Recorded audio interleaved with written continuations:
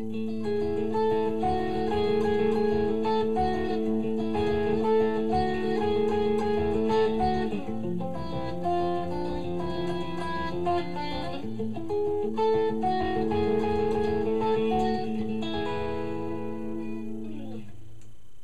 it's Chris here, and uh, what you just heard was an excerpt of one of my songs, uh, which segues nicely into um, this guitar tip I have for you, which is all about chordal picking.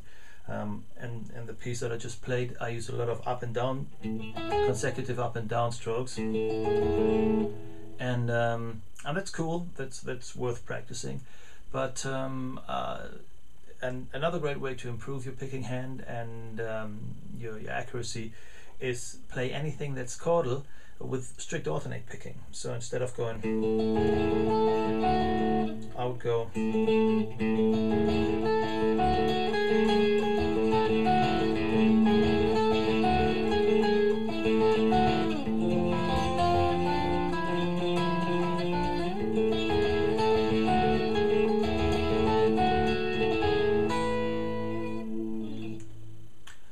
And um, that's basically my tip for you.